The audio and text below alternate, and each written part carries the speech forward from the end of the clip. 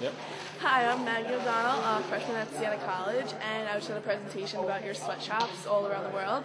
And I hope you take into fact the people over in Indonesia, they're humans too, and they deserve high wages. Thank you.